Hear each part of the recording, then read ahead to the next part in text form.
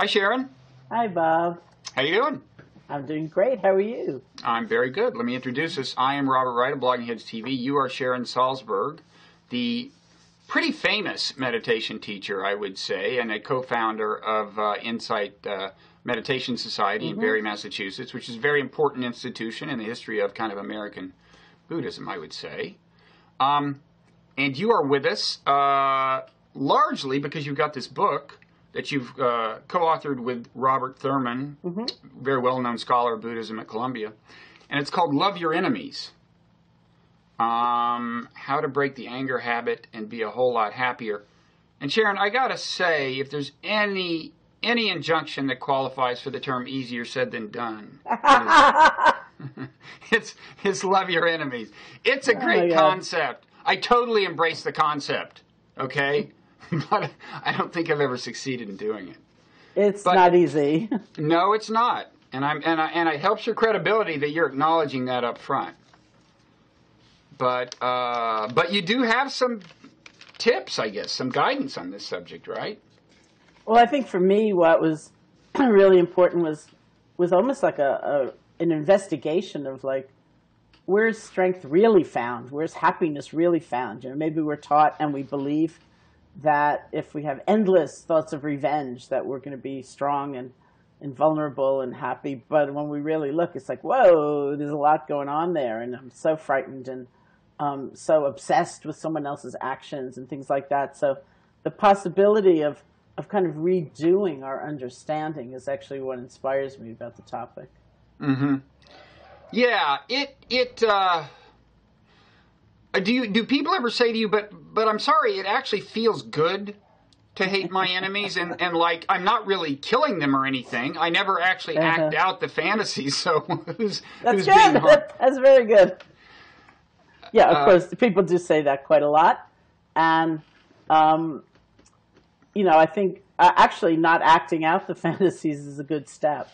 Uh, not, you know, it's a very good step because we may not come that far, but we uh, you know, we could be, uh, not me too. You know, I've been there where I, am just like so caught up and so consumed by someone else's faults and um, disagreeableness and what they've done, and I can't let go of it. And so it's taking over so much of my own life energy, and uh, I may not, you know, harm them physically, but I maybe talk about them or try to um, get other people to turn against them, or I, you know, there's so many things that that are just um, taking away from my own sense of integrity and dignity in the end. And uh, we don't need to go there. It's not that we have to give in. That's the big confusion. It's like, oh, that means giving in and being a doormat and letting them act that way again, or saying it didn't matter. It does matter what people do, all of us, and actions are consequential. But we don't have to be so lost in that in that kind of fixation. Mm-hmm. Now, uh, I know you teach you teach meditation retreats, and, and, and, and one approach to this whole challenge can be pursued on a meditation retreat. In fact, there's a special type of meditation that we can talk about that's uh, that's particularly focused on on this called uh, metta meditation.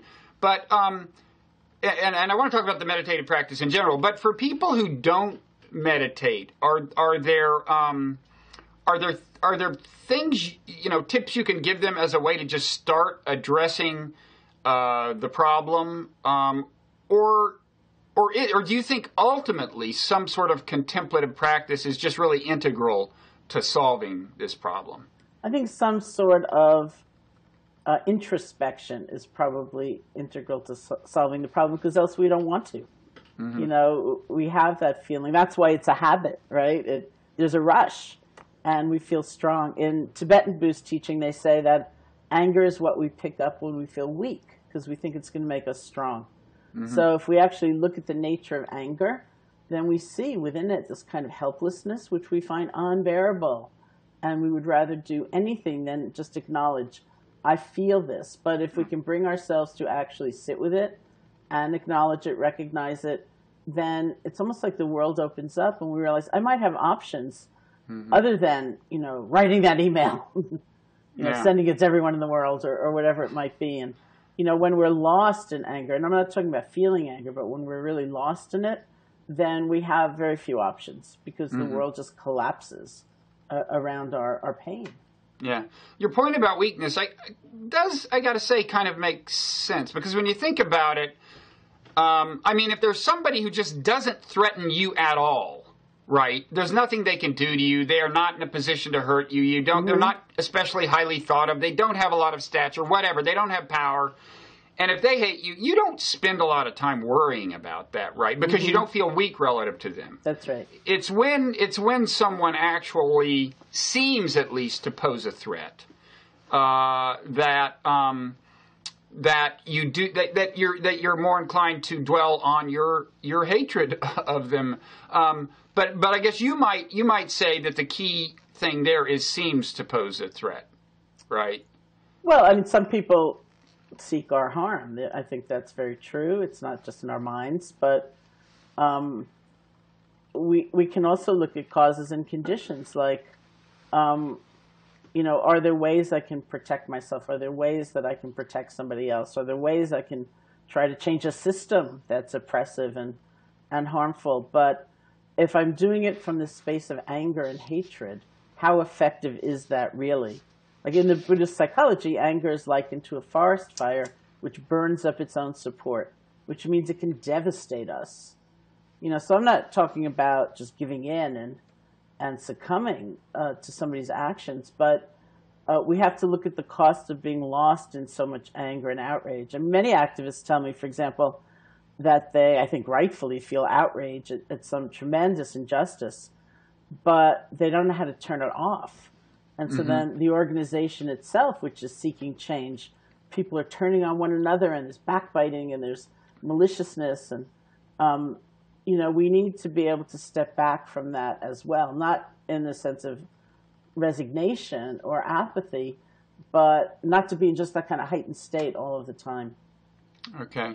The um, let me, by the way, interject that, that in the book you, you, you take pains to say early on that, that you're using the term enemies broadly. You, you are talking about overcoming your hatred of your enemies, your literal enemies, but there are also some, some things you call enemies metaphorically, uh, most of which are, are actually kind of related to, in a way, to the pro- the challenge of, of not hating your enemies. But so you're talking, you know, your, your inner enemies, anger, hatred, and fear.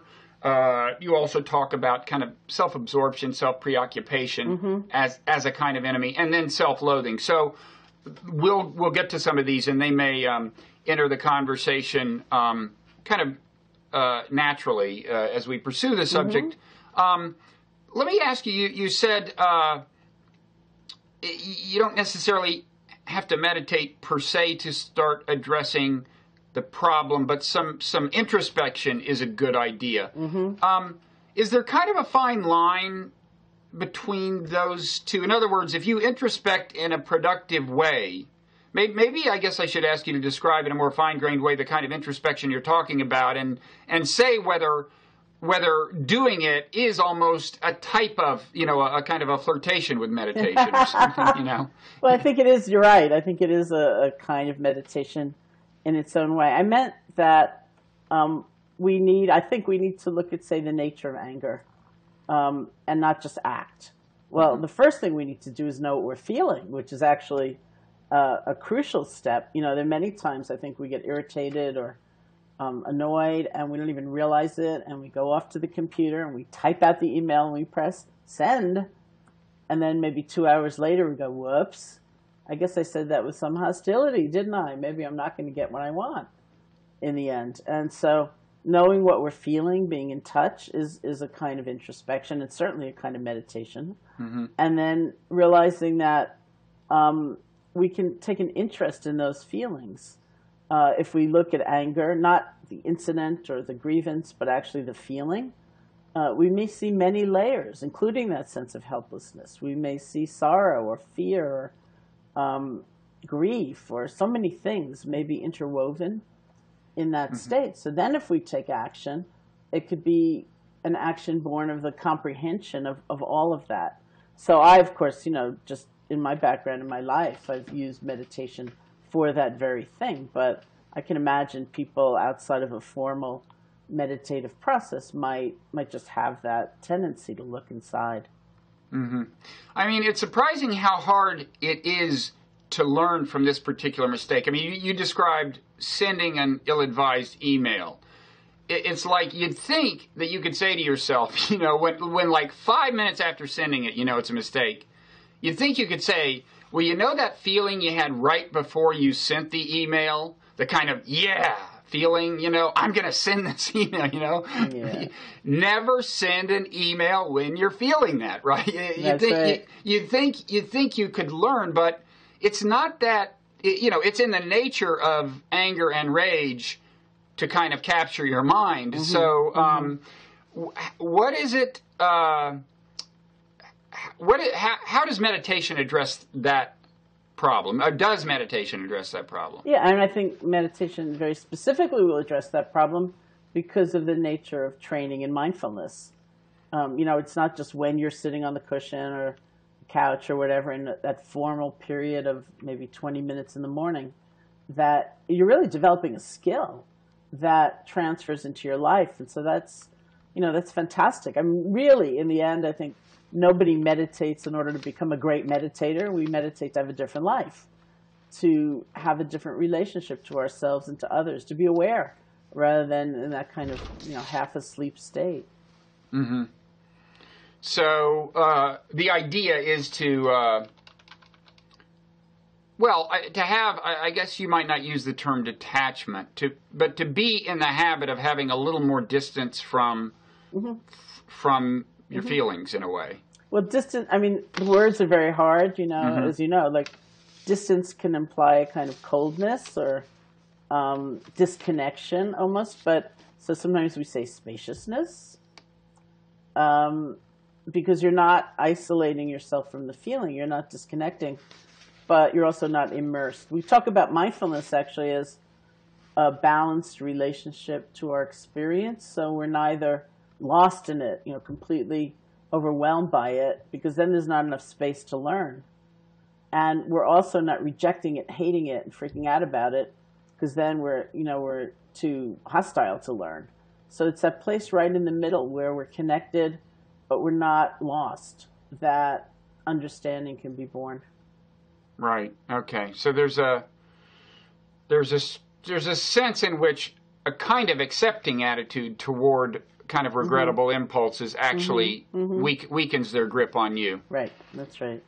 Um, the uh, so let's um, let's do move on to um, to some of the metaphorical enemies. I mean, some of them we've talked about uh, already uh, with um, uh, you know anger naturally arises when you talk about and hatred naturally arises when you talk about uh, enemies and and fear we kind of touched on. I mean, is your premise that fear is always at some level involved when you when you actually hate someone? I do think so, actually. Um, in the Buddhist psychology, anger and fear are actually the same mind state. They're just two different forms. Anger being the energized, outflowing, expressive form, and fear being the held in, frozen, and imploding form. Uh, but they're the same thing of, of wanting to strike out against what's happening, declare it to be untrue, know, to separate from it. And so that they they play off each other. Okay. Um, and with all of these feelings, um, you know, we mentioned metta meditation, and that's uh, it's I guess is it M E T T A right? That's It's a right, it's a Pali word meaning loving kindness that shows up Uh-huh. in in early Buddhist scriptures. Um, and adorns the entrance of the Insight Meditation Society uh, very prominently. The word. Um, the uh, so that's a that's a specific type of meditation, and I have to confess, you know, I mean, as you know, I've been to some meditation retreats at IMS, and and uh, metta meditation I've always had trouble with. um, the maybe. Uh, Maybe you should describe um, what uh, you know how how it works. Well, I, I, first of all, you're not alone. A lot of people have trouble uh, both with the word and um, with the idea of the technique. I think it does. It's a very delicate technique. It takes some time if one is wanting to do it. But, you know, but of course, that's that's optional. I have a friend who, uh, my first book was called Loving Kindness, and I have a friend who's, I think in his 40s, and he told me he was reading it on the New York City subway, and he was so embarrassed to be seen reading a book called Loving Kindness that he was like cleverly placing his finger over the title. And I thought, my God, it's like pornography or something. and uh, we can have lots of feelings about the concept and the the idea. The reality of it is that it's a technique that's based on training our attention. It's not, as many people fear, kind of trying to have a phony feeling or pretend you're feeling something you're not, or being overly sentimental or something like that. Uh, the the belief is that loving kindness and compassion follow attention. So, for example, think about the many beings we may look right through. You know, we overlook, we ignore. Checkout person in the supermarket, um, bank teller, dry cleaner, somebody like that, who we don't have that kind of sense that this is a human being who wants to be happy just as I do. Uh, they're an object in that moment. And so we create an other, not even through prejudice or antipathy, but just indifference. Mm-hmm. And so training ourselves to look at them, to listen rather than overlook them, mm-hmm. is what elicits the sense of connection. So ultimately, loving kindness isn't a feeling like I love everybody and it's all wonderful, but it's a deep knowing of how connected we all are. Mm-hmm. It is. It, it is kind of an interesting exercise in everyday life to try to make a point of looking at people you normally would not even notice, you know? Because, mm-hmm, mm-hmm. like, it, depending on where you are in your life, uh, you know, there's certain kinds of people like you're looking at. Okay, so like if if like when I was a young male, I suppose I would be on the one hand looking at young women. Mm-hmm. Uh, I would also look at young men often because they might, you know, to see if they're like in some sense threatening. You, you know, what? I don't mean physically threatening, yeah, but like are they, are they the competition? You know, right. and you're not looking at older people and you're mm-hmm. not so anyway, but but all of us have the, these categories of people we pay attention to and in these categories we're just not it's like it's like my brother my brother my older brother said when he was uh, uh, maybe uh, actually a little younger than I am now sadly but he was talking about getting to the point where women no longer look at you you know and he said you know when you're walking down the street and he said it's not that they think you're bad looking they just don't realize you exist um, and and that's you know for all of us there's a lot of people in that category. That's right. Um, and and I've found um, it's not hard to like them. I mean, precisely because you're not looking at you know because you precisely because they're not in the category of automatic monitoring. They're not especially threatening people. Mm-hmm, mm-hmm. So I guess they're kind of a middle ground between the people you know you natural you easily love your offspring and so on, and then your enemies at the other extreme and Mm-hmm. And in, in meditation, in metta meditation, as I recall, what you have, the teacher kind of guides you through the whole spectrum, right? You, you usually, you start, I don't know, you start with yourself, you start with a family member. You start with yourself. And this is a question, actually, you, you know, you, you self-loathing is one of the enemies you describe in your book, so we might as well talk about this a little, but uh, I always had trouble. Uh, maybe that's where I, I, got off the boat with metta meditation. Is they're they're trying to get you to have all these warm feelings toward yourself at the beginning, and then you're going to move out from there and eventually get to your enemies and imagine an enemy and have warm feelings toward them. I always had trouble with the very beginning, the first step. Well, I, I also, um, at least when I teach it, I don't really focus on the idea of warm feelings, okay. but more. Um, an inclusivity of attention. Um, it's almost like a more truthful attention, like starting with oneself. Let's say you're in the habit at the end of the day of evaluating yourself, kind of like, how did I do today? And mm-hmm. let's say you're in the habit of pretty well only thinking about the mistakes you made and the thing you said unskillfully and the really stupid thing you said at lunch at the meeting. This is my life. You okay. just described my life. So much so that your whole sense of who you are and all that you will ever be collapses around that stupid thing you said at the meeting. So the the invitation of loving kindness is almost like asking yourself, anything else happened today? Like any good within me? It's not saying, you know, wasn't that a brilliant, witty thing I said at lunch? Mm-hmm. Maybe it was really stupid, and there are consequences to that. But that's not all that we are ever. So it's that kind of fixation, the limitation only looking pretty well, only looking at what's negative. We just want to stretch. We want to include something bigger and also more true than that, because we're not just that comment. So And you would so- so, you would say actually think about the day and think Mm-hmm. about some things you did that were you know like I Yeah. didn't run over anybody when I drove home. You know, maybe something even more positive than that. But um, Yes. okay. Uh, Yeah, and well, then I mean, psychologists I hear say these days that a lot of research has been done saying one of the most healing things any of us can do at the end of the day is keep a gratitude journal. Like write down three things we're grateful for at the end of the day, and it's kind of similar, you mm-hmm. know. And I always say if you're going to do that, one of them can be that you're breathing. It doesn't have to mm-hmm. be really grandiose, but I would say my personal conditioning and my cultural conditioning is such that I'm much more likely to come to the end of the day and think about everything that went wrong. And what can I complain about? And who was late? And what about the airline? And then there's, you know, this and that and that. Right. Um, so it's a stretch. That's what I mean by intentionality.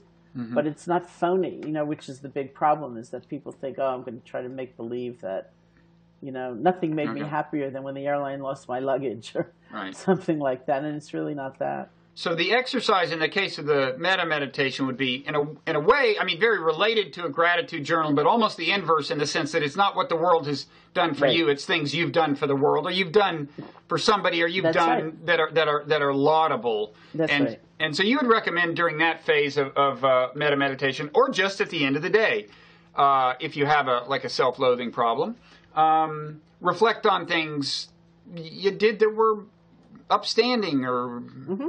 Laudable. Okay, I'll work on that. I'm sure. I, Is that easy? I'm sure I can think of something. Are we allowed to go back like 20, 30 years? yes. Okay, I can think of something then. I'm sure. Um, so then, do you use the same technique in metta meditation as you move on? So then you, you you you might think of a family member. You might think of somebody. Well, somebody like you said, a checkout uh, clerk or something. You you have who's not a friend, not an enemy. Um, and then eventually you get out to actual enemies. Uh, you also th- think at some point about people who have been benefactors of yours, I guess, who have done you some good. Um, but anyway, you go through the whole spectrum of people, all the way to people you kind of loathe. And and do you you recommend doing that in all of those cases? Thinking, you know, l- l- looking at things they have uh, specific, another specific things they may have done that are good. Well, you with the checkout person in the supermarket, they may not be that. So, or you know, in a bad day, they may not be that even for yourself. But um, it's the recognition that everybody wants to be happy, that we actually all want a sense of belonging in this life. We want to feel like we're part of something greater than our limited sense of self. But we're so lost, we're so confused. We get so many messages about where happiness is to be found, even in the matter of anger. You know, are we really happier with these endless scenarios of revenge playing out? Or is there another way to find happiness that, that isn't, you know, just being weak or, or something like that? And so we can remember, even looking at a, a very difficult person, here's somebody who actually has that same urge toward happiness. And uh, it's out of ignorance that we do these tremendous things that can cause so much suffering for ourselves and, and for someone else. But if you're really bold and audacious, um, you can see if you can find one good thing about them. You know, not to pretend that all the rest doesn't exist. Like when I went to Burma in 1985 to intensively practice metta meditation, that was one of the instructions. Think of you, see if you can find one good thing about even somebody you don't like. Mm-hmm. And my first thought was, I'm not going to do that. You know, that's what stupid people do. They go around looking for the good in people. I thought, I don't even like people like that. but as I tell the story, I was very far from home. I was in a Burmese monastery. It's a very traditional culture, so the nature of the teacher-student relationship is not one where the teacher suggests you do something and you say, I don't feel like it. It's like you do it. So I did it, and it was so interesting because it didn't make me like in a fog of delusion, like, oh, they're a perfect person. Um, but I, I thought of somebody whose behavior I actually found quite irritating, I think in a very reasonable way. and and this memory came to me where I remembered him once I, I saw him. I was there when he did this beautiful thing for someone we both knew. He just a, a very kind act, and he did it in the nicest possible way, so she didn't feel demeaned or condescended to. And I mean, he just did it so well. So that memory came to me, and then I thought, I don't want to think about that. That complicates things. Right. I liked it better when he was all bad all the time, but life is complicated. We're all complicated. You know, we're not asking you to like somebody um, or take them home with you or give them all your money or anything, but just to have that deep sense that our lives have something to do with one another. Mm-hmm.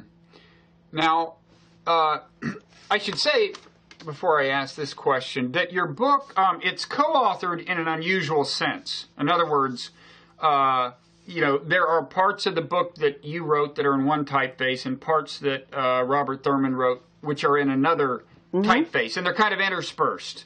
Uh, and I think maybe this is in uh, what I'm about to ask is possibly in the Thurman part. I'm not. I, I, I don't remember exactly, but there, it's the idea that one source of compassion for your enemies um, can be reminding yourself of the way we're all kind of creatures of our past. You know, I mean, we uh, right. We're all we're all in some sense. Uh, you know, our behavior is, I don't want to be too deterministic about it, but, you know, we're born with certain genes, we have these life experiences, and we wind up doing certain things, and, and, uh, and that can be a source of compassion, right? Yeah, it is. I used to say that um, in meditation. Actually, you can tell me if we're, I think we're getting closer to this. I used to say that I wanted someone to invent a machine so that during a meditation session we could plug in just one person and have their thoughts amplified to the rest of the room. and uh, in the absence of that machine, uh, which would be very interesting, wouldn't it? It's like you'd be sitting there thinking, "Wow, you looked so serene, but look what was going on." Um, in the absence of the machine, I actually don't think it takes that much introspection to see all the waves of feeling and urges and um, so much stuff arises in us. We may never act on it because of wisdom, background, training, sometimes sheer good luck. I bet most people could remember at least one time where you think, well, thank goodness I didn't go for it. I almost did that. Um, so it's not that it's saying what somebody else does doesn't matter, but you can kind of have some empathy about, ooh, I've been that lost, or I was close to being that lost, or I've been that angry, or uh, felt that helpless and hopeless. And so um, it's really not, and this is, you know, I keep coming back to this because it's what's so hard. Uh, it's not saying it doesn't matter what we do, but at all. But we can get a, a, a kind of an understanding like, oh, yeah, I can get it. I can get why or how someone might do that. Yeah, it's like I've noticed when you look at your own children on the playground, you're very aware. They might you might see them do something mean, and you can kind of see that they're doing it out of insecurity. You, but but when somebody else does is mean to them, you're you're not so inclined to that explanation. that's right. But but That's your right. point is it's equally valid. Um, and you know, I should say that, you know, I had said metta meditation per se has never especially worked for me, but just plain old meditation of the kind you do either at home or at a meditation retreat, in my experience, naturally has some of this effect. I mean, the, the closest I've come to a triumph over hatred of an enemy was was at a meditation retreat at IMS. Not it wasn't metta meditation, uh, although maybe I'd been influenced by hearing the metta meditation. But I thought of this person, and suddenly he seemed so insecure, which he in fact uh, is. I, I, you know, That's and right. and you and you and suddenly I could see that that was the source of his whatever. I won't get into him, uh, but um, and I could see that that was the way his parents might look at him or something. Uh, you That's know, right. and That's and right. uh, so it's great when you can do it, but uh, but it is hard. It's very hard, and, and we're inspired sometimes by the degree of our suffering. You know, if you're fine, then you know you're getting through the day. But if if you are kind of caught, then then you realize, ooh, I'm spending a lot of time. I mean, I, I, often joke about in meditation how we go through the list of someone else's faults, and then we go through it again and again and again. Same list, you know. We haven't thought of a new one. But it's like so much of our time, so much of our life energy is given over to this other person. We can't do anything about their faults anyway, you know. So it's just like it's like being caught, and uh, it causes tremendous pain. And we also feel very lonely in the end because um, if we don't have the habit of gratitude, if we don't have the habit of feeling happiness for others, um, then more and more it seems like it's us against the world or me against the world, and uh, it's a very lonely place. Mm-hmm.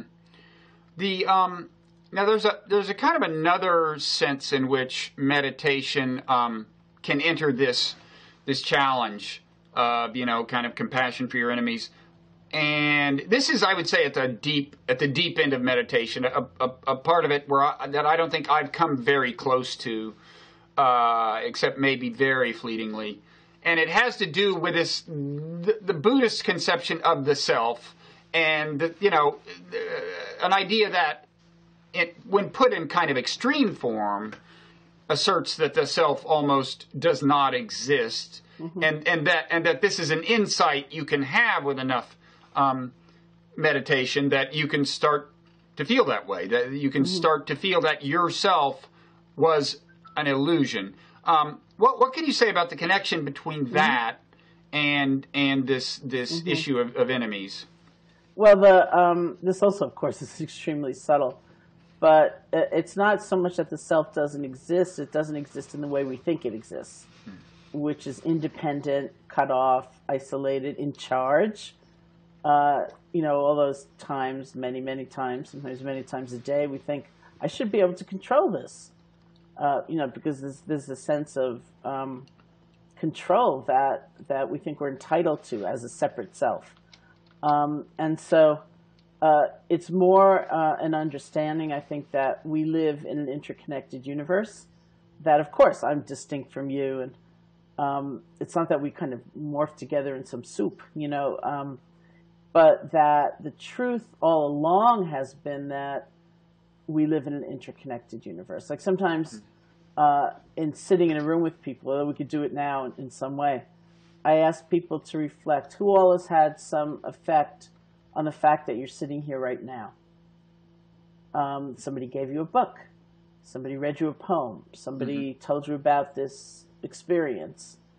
You know, and people just bring to mind this it's really like this moment is this confluence of connections and relationships and interactions, and um, that's also true. And it's not something we often come to or, or think about. And so, you know, it's not that somebody was just in the case of the room walking down the street and looked in and thought, I'm going to go in there. Um, mm. Right? So we live as part of a network as well as an individual. And, and that's like the insight into interconnection. And and it's very much having to do with metta and loving kindness, even for one's enemy. It's it's this understanding that our lives are connected, mm-hmm. and the corollary of that is that everybody counts, everybody matters, no one left out. Even if you don't like somebody, even if you're going to take strong action to try to prevent them from doing something again, people still have that that sense of um, everybody's worth something in the end. Mm-hmm and and during meditation, I take it that can come to be more than just a kind of an abstract mm-hmm. understanding, mm-hmm. an analytical understanding. It's it's sure. almost it's almost a feeling. Yeah, it is. It's like a visceral sense of um, maybe we look back at our past and we we just have a sense of this leading to that, to that, to that, to that, to that. And, uh, when I do that particular reflection, for example, um, about who all is involved in my being here in this room right now, Sometimes I think of the Board of Regents of the state of New York, which gave me a scholarship, which is how I, was able to go to college. And it was when I was in college that I entered this independent study program, and I, that's how I got to India. So, you know, it's just like realizing that it's not like poof. Um, you know, I'm here. I'm here mm-hmm. because of causes and conditions and and all of that. And and we just we feel it. We sense it very strongly. Mm-hmm. Yeah, your your whole India thing is pretty fascinating to me. so, so, I mean, you were uh,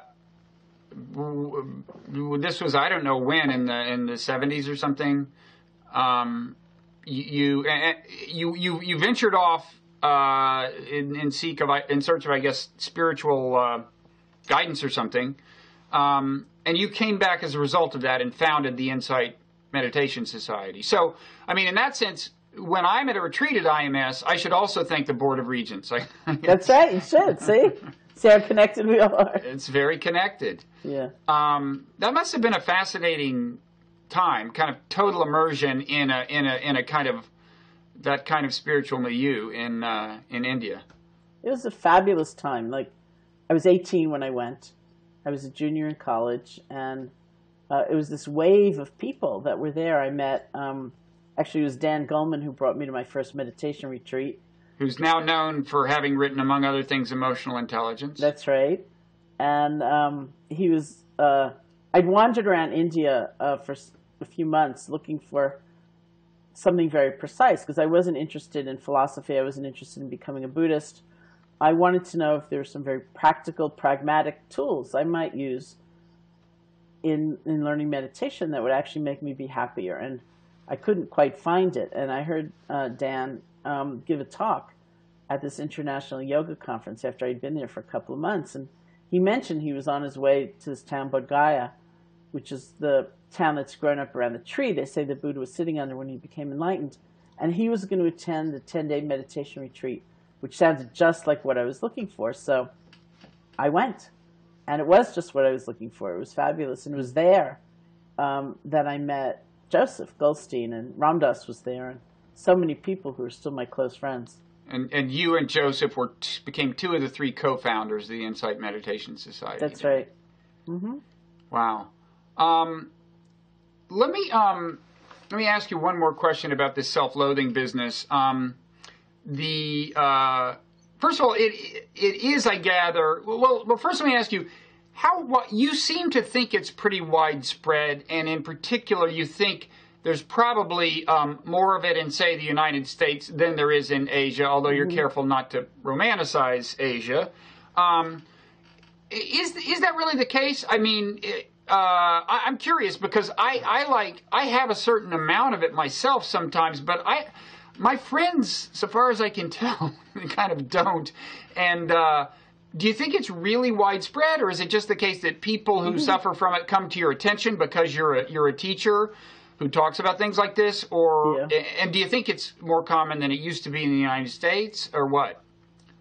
Um, well, certainly. I mean, that's an interesting question that uh, the people I tend to meet are the people who are uh, very sensitive to certain things. And you know, sometimes we joke and we say like, "All the wrong people loathe themselves." You know, there are other people who might Isn't give that it a try. Our you know? enemies, our enemies seem not to, so far as we can tell, yeah. and they should. That's right, but, and probably they do. Yeah. Um, but it's masked, of course, by uh, this overbearing attitude um, sometimes. But uh, of course, I'm. you know, I had a pretty famous encounter with the Dalai Lama some years ago. It was like 89 or 90 uh, when I was at a, a, very small conference with him in, in Dharamsala, where he lives in India. And I had the chance to ask him a question. So I said, Your Holiness, what do you think about self hatred? And he said, What's that? And it was this really, he, he was like very puzzled. He said, Is it some kind of nervous disorder? And, you know, and the maybe there were 20 other people in the room and everyone's saying, no, it's this and that. Uh, it, it, was really very interesting. He was, he was very confused and by it. And he said in the end, how can you think of yourself that way? You have Buddha nature. Hmm.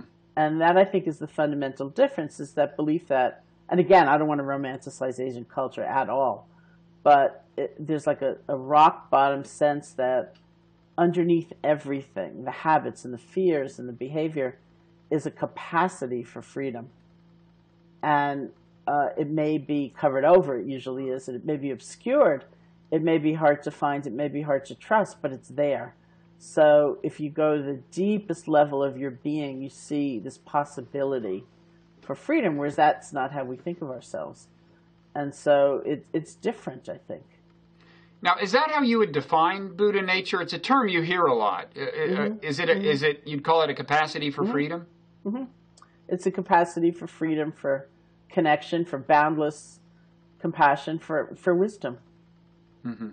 Because his whole idea is we suffer because we are deluded about mm-hmm. the nature of things, and um, and to to to cease to be deluded is to be liberated, and that's where the potential lies. That's right.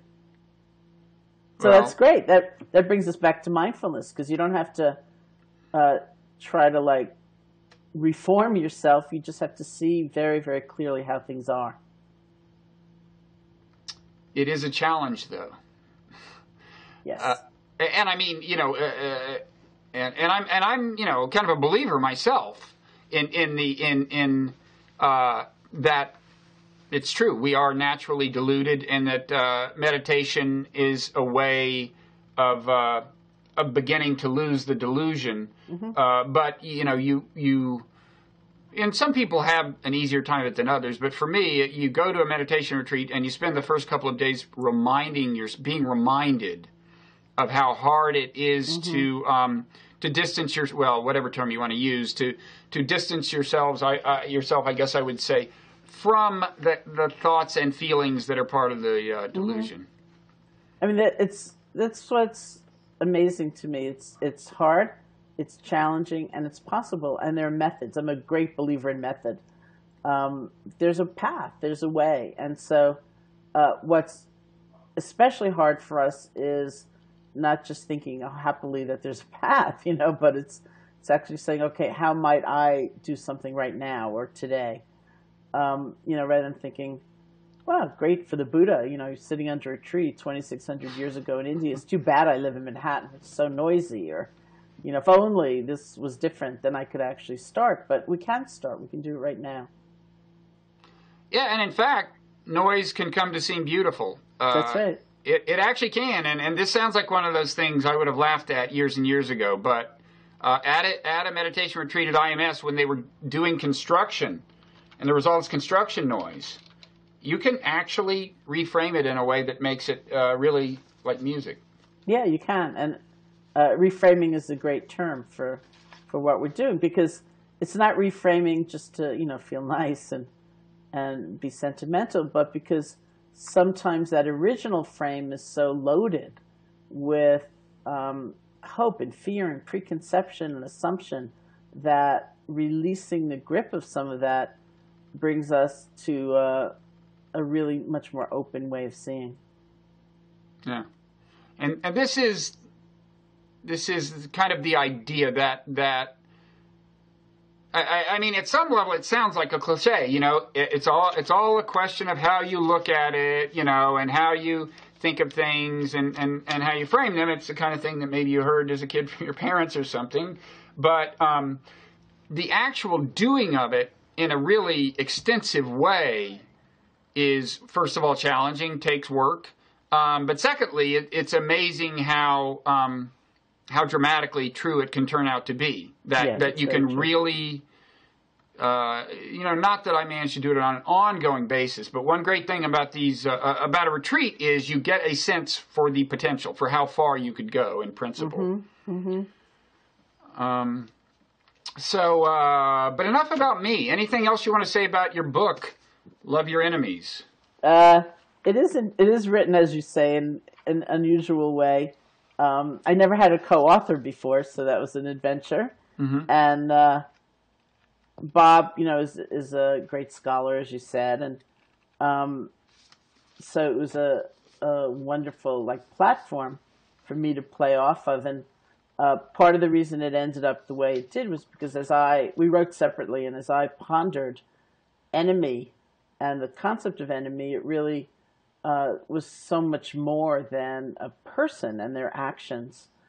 You know, the way we can make death into an enemy, certainly mm-hmm. in this culture, or suffering into an enemy. Uh, it's wrong. I shouldn't feel that. I should be like chipper all the time, and um, everything should be perfect. And uh, time can seem like an enemy, and change, and so many things. And so I just wrote uh, as I want to do, rather than stay within an outline. And so in the end, the publisher had the not enviable task of trying to put the two halves together, and and they came up with, I think, a pretty good way. It is a good idea. There's a there's a nice rhythm between the two voices. Thank you. Um, and he's from a he's focused on a different tradition, more Tibetan, mm-hmm. but mm-hmm. Um, mm-hmm. but uh, still at the at, at a you know at a deep level, the teachings are pretty much the same. Um, well, thank you, Sharon, so much for uh, taking the time from your new your new apartment. Yes, thank you. in uh, in New York, uh, and uh, um, And here again is the book, Love Your Enemies, not just the obvious kind, but uh, some metaphorical kinds, uh, including self-loathing, self-absorption, so on. So, so good luck with the chair, and I hope you'll you'll come back and talk to us uh, when you write the next book, if not sooner. Oh, the next book's coming out January 1st. So We'll- we'll- if you invite me, I'll come. I hope to still be here. Yes. Thank All you. right. Okay. Take care. Bye bye.